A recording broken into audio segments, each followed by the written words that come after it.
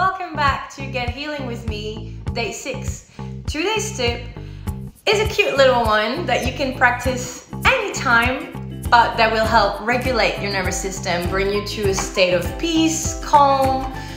If you're feeling fear, frustration, sadness, or even panic about something, by doing this very simple trick, you are able to bring yourself back to the present.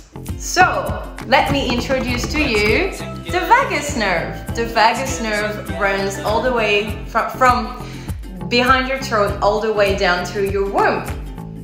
Right? Womb. right? So when you are humming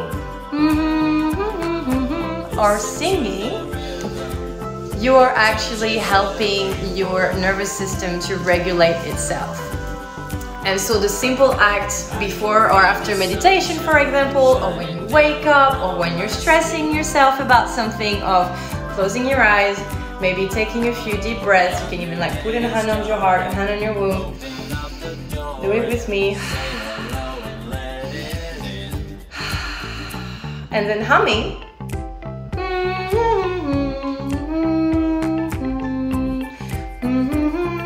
You're sending vibrations all the way down through your body, which helps release energy, discharge trauma, and so you can literally heal yourself through sounds.